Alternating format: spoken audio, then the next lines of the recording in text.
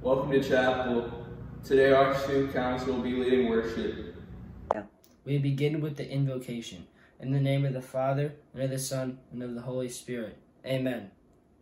Christ is risen. He is risen indeed. Alleluia. It's that time again at St. Paul where we want to celebrate those people that have baptisms in April.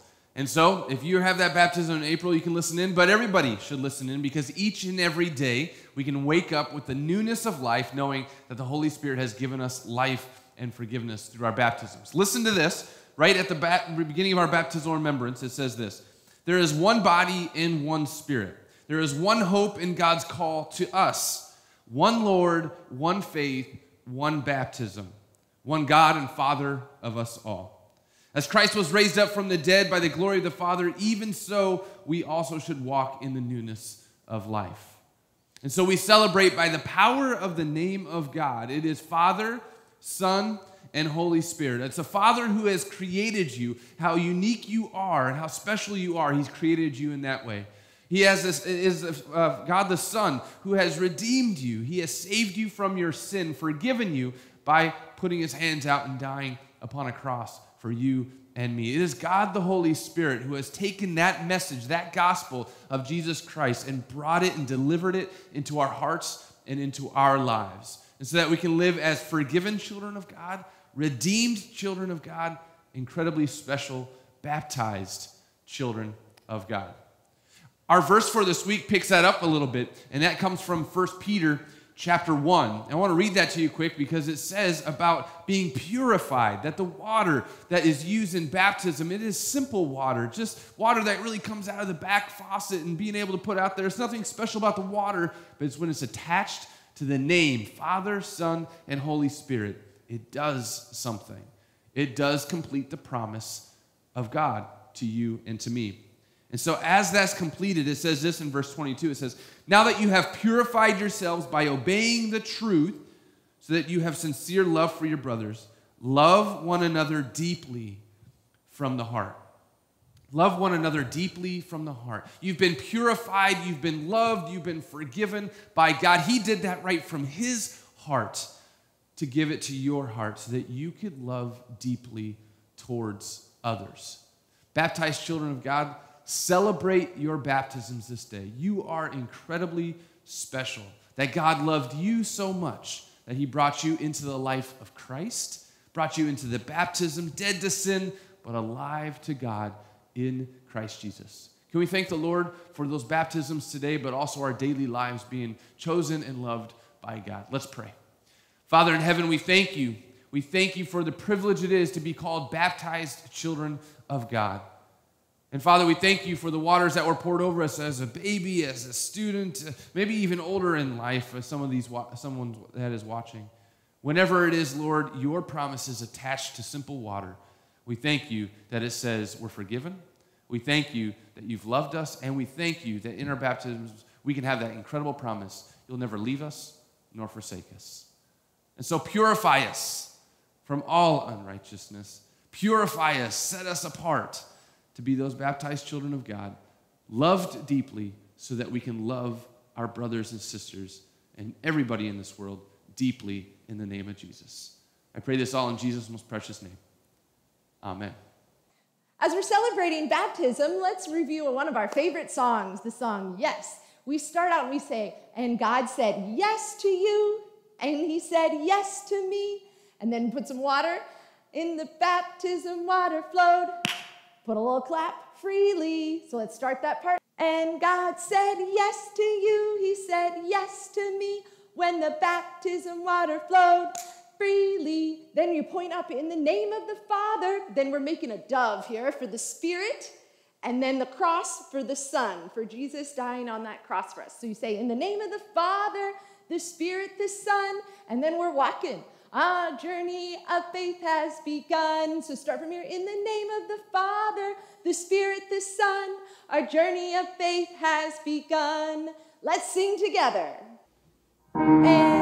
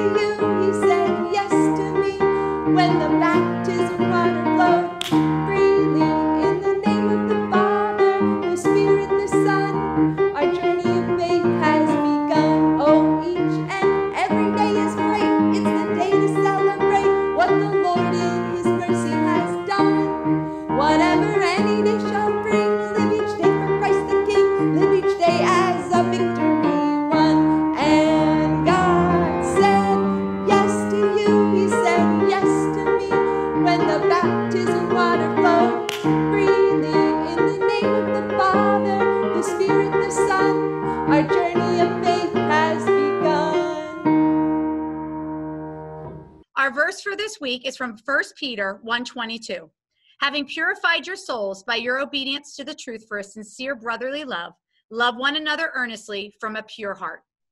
Our student council wants to celebrate that brotherly love with our St. Paul family. We miss our St. Paul family so much and recognize how important it is to show that brotherly love, especially at times like this. Please enjoy chapel as our student council spreads love St. Paul style.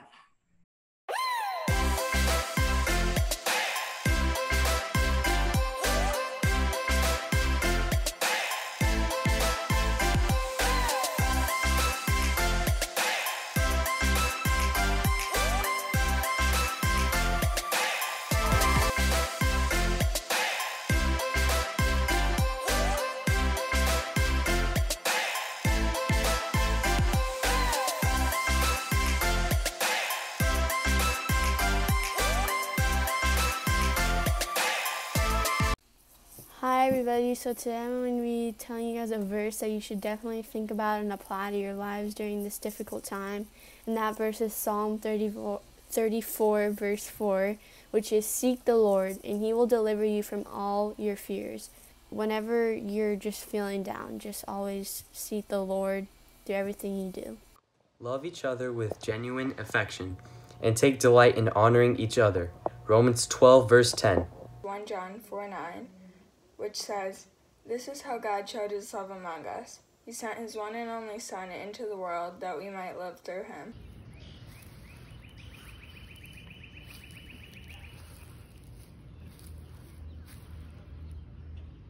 First Corinthians 13 verses 4 through 8.